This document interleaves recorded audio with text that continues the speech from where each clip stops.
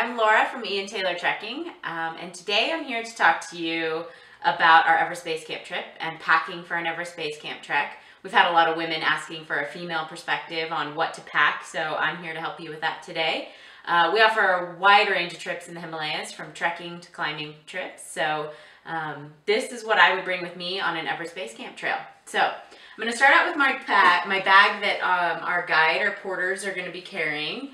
Um, I like to use a 100 liter um, pack, uh, duffel bag, excuse me, um, but a 90 liter would work as well. Uh, it's good to have something with a waterproof or water resistant on the outside just in case. Usually they're um, carried by yaks or porters, but um, if it does heavy have a heavy rain, um, you don't want your, your gear getting wet on the inside. So something that is water resistant or waterproof is best.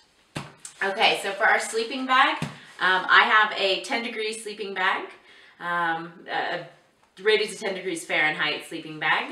Um, I personally run a little bit colder than others, so the 10 degree bag is enough for me. I also have a zero degree sleeping bag that sometimes I bring, um, but it depends on the time of year. Um, obviously, this gear um, is going to be different depending on when you're going. So this is just kind of our, our general packing guideline here.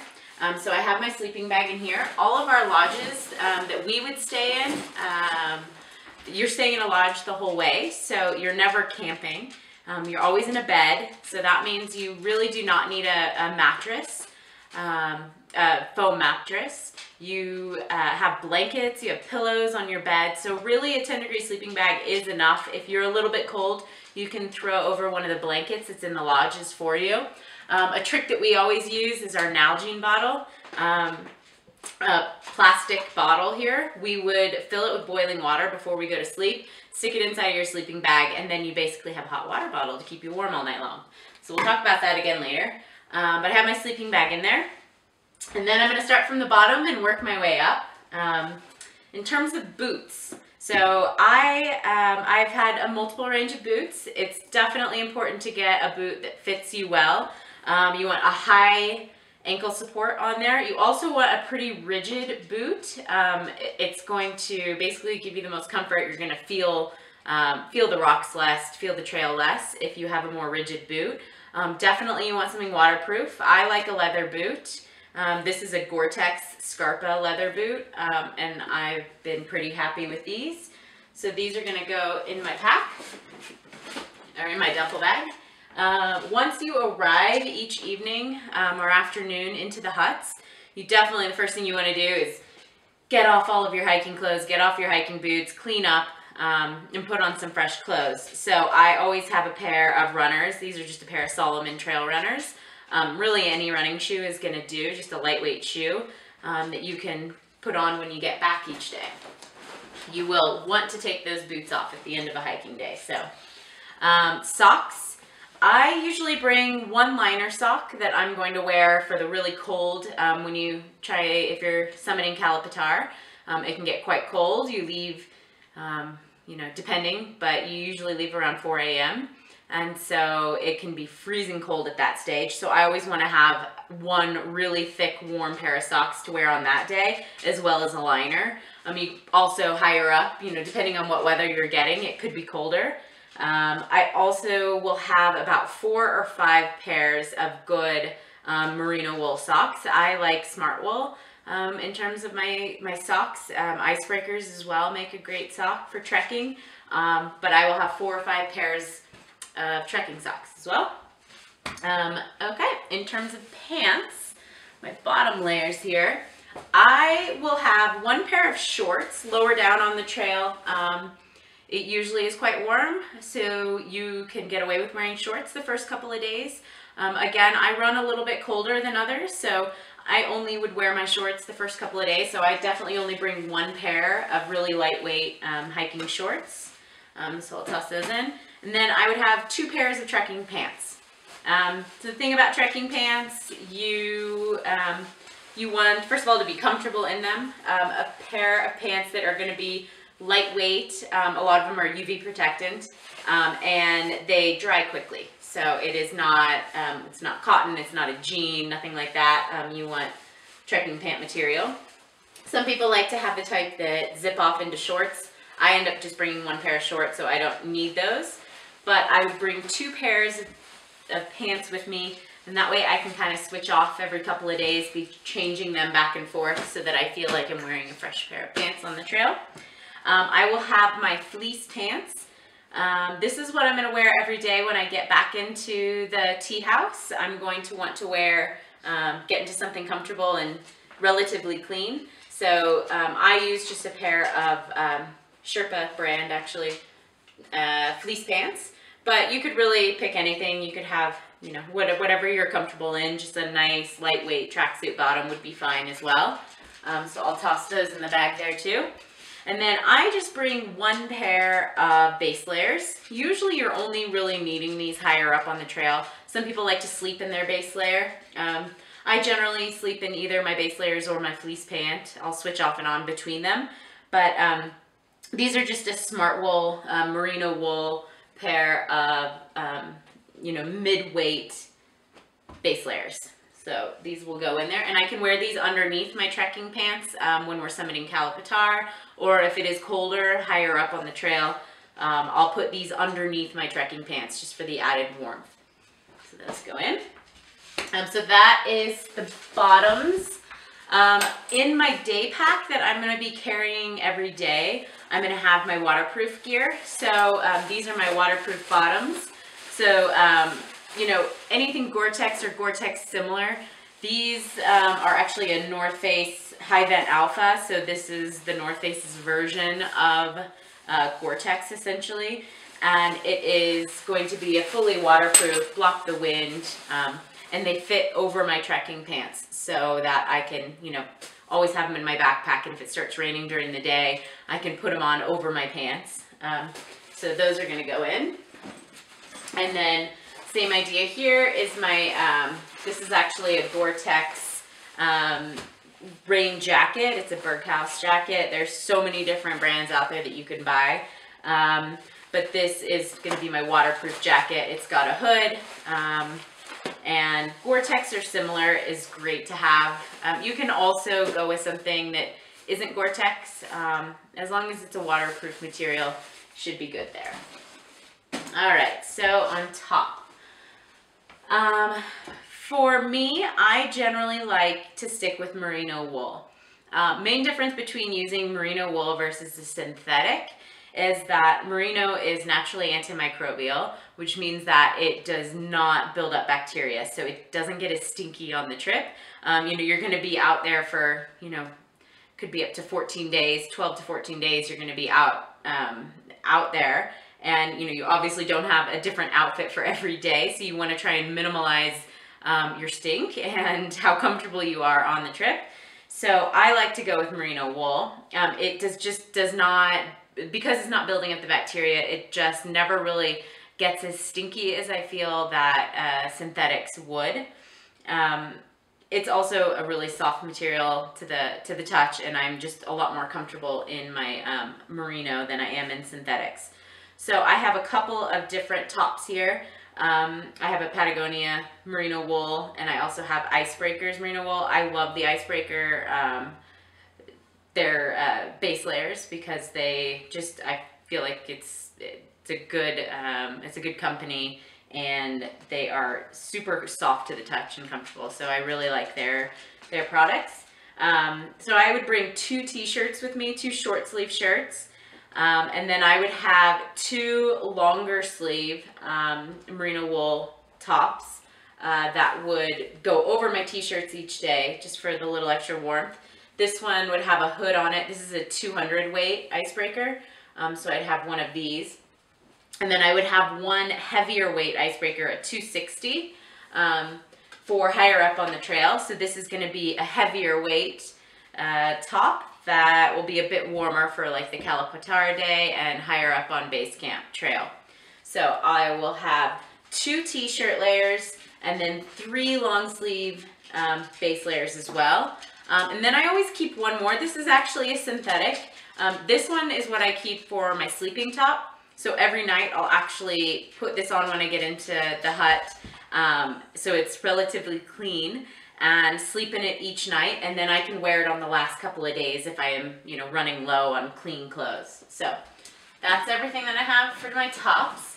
Um, for the next layering pieces, so this is going to be my mid layers. I like to have one heavier fleece with me. Um, this is a Patagonia R3. Uh, it's super warm and I just really am comfortable in it. So it's a nice item to put on each night when I'm in the hut. Um, and then it can be my mid layer that's thrown into my backpack every day, um, just in case it gets a little bit cold out on the trail. So I'll have one of those. Um, and then I'm actually a big fan of vests. So uh, this is actually a Patagonia ultralight down vest. It's an 800 fill goose down vest. Um, so it's so lightweight, it packs into nothing. Um, and it just gives you that added warmth. If you don't want to have a full jacket on, your full down or a full fleece, um, you just need a little extra warmth keeping your core is so warm is so important. So for me, the vest really works. So I always will have this actually in my backpack with me every day just in case. Um, then I would have my heavy down jacket, um, which this one is a Patagonia 800 fill. Um, it's called the High Loft jacket. Um, it's goose down, it's 800 fill, and the way to figure out which down jacket is the right one for you um, and the difference between the synthetic down and, and goose down. Um, goose down is naturally going to be a bit warmer than synthetics will be. Um, this one, you can tell the warmth. So the 800 actually is about the quality of the down. So that means it's a high quality down. Um, any of the big companies that you're using are going to be, you know, a 7, 800 fill goose down um, is going to be a high quality down but this one has thicker baffling. Um, so these, these um, the stitching is a little bit thicker on this. It's got more down in it, which makes it a warmer piece. Um, so as long as you're getting, um, you know, a high, high quality brand like a Patagonia, um, that, you know, is a great company as well that uses responsibly sourced down, um, you know, it would become, the main thing to think about is the loft of the jacket. So how warm is it? Is how thick the baffling is, how much down is it, is in the jacket. So this one is 800 fill, but it's a thicker, um, so it's kind of a step up from their normal down jacket. So it's gonna be a warmer piece. Uh, this I use pretty much every evening in the huts. It gets quite cold in them most of the time. Um, and then on Kala you're wearing this the whole day, as well as um, sometimes in base camp, and you never know, along the trail. I've been in Nepal, I've been on the base camp trail where I wore this jacket um, you know, from day one, pretty much the whole way up because we had such cold weather. So having a good down jacket is a necessity on the trip. So that is going to go in here. So that's pretty much all of my clothing that I'm going to bring on the trip. Um, next, I have my underwear, sports bras. I generally bring two bras. A lot of people ask that one. Um, two is usually enough. I can switch them on off and on each day. Um, and then I love like the icebreaker uh, merino wool underwear. So I have purchased about seven or eight pairs of those and bring those with me on the trip. So seven or eight is generally enough. Um, icebreaker or the, the merino wool underwear is great too because you can rinse it out and you know in some water and it'll dry overnight if you want to leave it out or you can hook it onto your backpack as well. Um, so I have about eight pairs of those. Um, all right, gloves. I have cold hands. Um, it's something that I have learned over the years that I need to be really specific with how I take care of my hands because they do get quite cold. So I always have a uh, pair of liner gloves. These are just a pair of Black Diamond Polartec gloves that I have um, that I can wear these on their own lower down when it's not too cold um, or just if I'm walking during the day. This is generally enough. Um, but then I actually have my a ski glove. Um, these are mittens. I prefer mittens for a trip like a base camp trail because I do find them to be warmer. If I was going on to climb a peak, um, I obviously wouldn't want to have mittens because you need to be able to use your fingers, so you'd want to have gloves. But for me, um, mittens seem to work quite well. Um, but I like to have a range of gloves. I might even have a mid-layer glove that I um, would bring as well. But having one thick outer glove that is waterproof um, as well as liner gloves is essential. And then I think this is one of the most important pieces of, of gear is my buff. So I bring two personally. Um, they're so lightweight, they don't weigh much, so it works well. Um, it doesn't add any weight. But I bring one buff um, that is not fleece lined and one that is fleece lined. Uh, the fleece lined one is great for higher up because you can put the fleece around your neck and then this can go around your head um, and cover, you know, cover your mouth up so that really everything is cold and then you have your, your woolly hat on as well. So I have one fleece one and then for lower down on the trail, I have one that doesn't have the fleece lining so that even though it's hot out, you still, with the dusty trails, it's great to be able to cover your nose and mouth with the um, non-fleece lined one uh, when it's warmer. So I have two of those. And then I would bring, usually I bring two woolly hats just to be safe. Um, you know, you definitely don't want to get cold, so I bring two just in case something is going to happen. Um, and then my sun hat. So on the trail, there's so many things that you're having to worry about along the way. You know, the, the fitness levels that you have, um, you have the altitude that you're dealing with. So you really don't want to cause any extra stress on you. So covering yourself fully from the sun is so essential. Um, so even though they're goofy, we always recommend wearing a sun hat. Um, you can also do a baseball cap if you like, um, but it's best to get the neck and the ears covered. So I would either have both or just the sun, the full um, brimmed sun hat with me. Um, so there's all that. Um, last bit here is my pack. Um, I've had this pack for quite some time. This is um, this is actually a 50 liter pack. It's an Osprey bag. Um, I would say a 35, 45 liter pack is going to be good enough. The main thing that you want to think about is the waist strap. So you want to be carrying all the weight on your waist. So making sure that it has a good waist strap and good support um, is essential. So um, the other little bits and pieces that I have here that I want to show you that I'll be bringing. Um, first of all is my water systems. So I will always carry an Nalgene with me. Um, this is obviously, when I was saying before, I would put boiling water in this, put it in my sleeping bag. So it's then been treated. So when I wake up, I can drink that water because it was boiled already. Um, so I have one of these.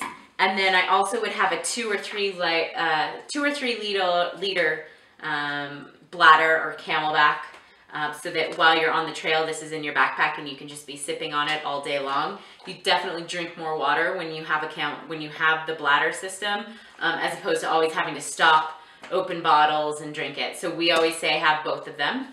So I would have both of these. Um, and then you're gonna need your water purification tablets. We do not recommend people buying bottled water on the trail. Um, first of all, it gets expensive. Um, it can get up to $3 a bottle on the trail. And we are always recommending people to drink four to five liters of water a day. Um, it helps with the altitude. Um, you dehydrate so much quicker at altitude. So if you can keep yourself hydrated, you're gonna see, you're gonna have so many more benefits than if you're dehydrated, you get headaches and you know, it, it's just a lot tougher. So we always recommend um, to just buy water purification tablets. You can buy them in Kathmandu. They're super inexpensive. You can buy them before you leave. Um, but having that with you is super important. Um, at up in the um, up in the along the trail, you can buy water the whole way. But like I said, we don't recommend people buying it.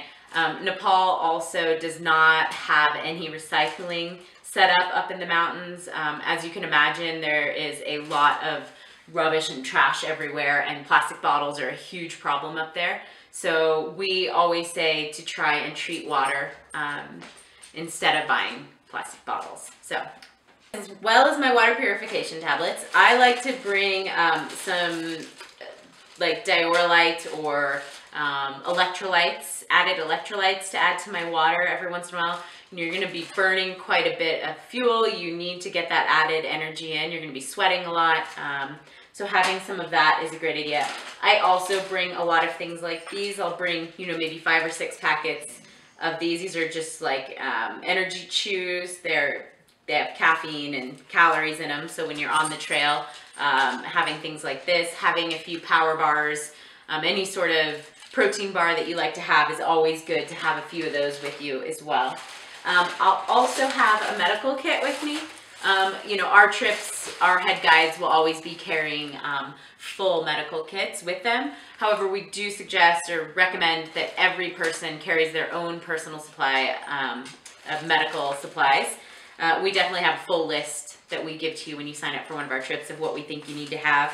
Um, but in here, I would have plasters, band-aids, um, you know, alcohol, sterile wipes. I'd have some blister pads, I would have headache tablets, Disprin, aspirin, Tylenol.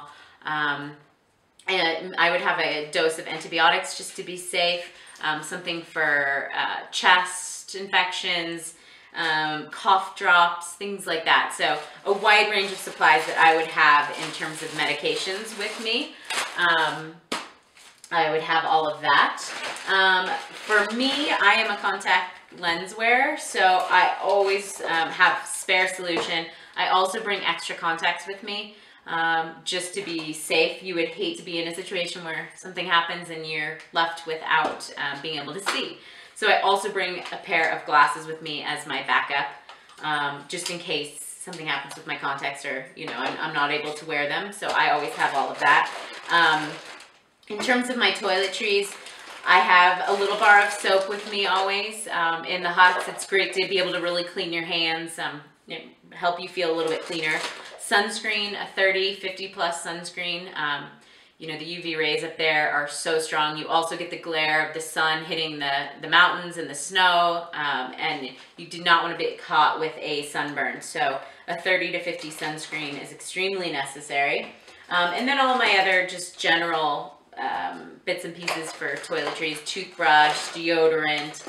Um, I bring a little bit of soap, maybe a small tiny shampoo and conditioner in case I do decide to shower in one of the huts along the way um, is all going to be in here. Also bringing uh, feminine products. A lot of people do end up getting their period even if they're not planning on it while they're on the trip. Um, just with the altitude, it can kind of mess with your system a little bit.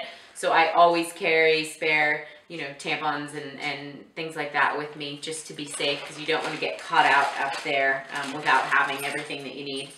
So I'll have all that. Um, also have some kind of vitamin C, a lot of vitamin C. Every day I'll be taking um, either an Emergen-C packet or Berocca. Um, keeping, trying to just keep your immune system working well. Obviously you're in a very different environment. Um, it's easy to get sick out there and you definitely don't want to. So I take a multivit every day when I'm out there, as well as taking um, vitamin C packets and, and lots of different things like that while we're out there. Plus it helps with the water because you're drinking so much water all the time. To have something that kind of flavors it every once in a while is, is wonderful. Um, hand sanitizer, I will make sure that I have a couple of bottles of hand sanitizer with me at all times. Um, one will always be in my backpack so that you know, if I have to go to the bathroom on the trail, I immediately have it to clean up. You want to really keep yourself clean. Um, that is one of the biggest tips we can give you is making sure you're managing your hygiene out there, washing your hands as much as you possibly can. Um, every day you should be, you know, hand sanitizing every time after you go to the bathroom, after you're touching things. Um, you know, keep yourself clean to stay to stay healthy out there. Um, I'll also have a lot of baby wipes. So generally, um, if I do take a shower on the trail, it's usually in Namche. You can take them along the way. Um, personally, I've always found that I just use the baby wipes, keep myself clean that way. Um, I don't like to have wet hair up there just because it's, you know, it is colder and it's, it's hard to dry. I have kind of a lot of hair, so it takes forever to dry. I just usually prefer um, to wait until the way down to, to get clean again.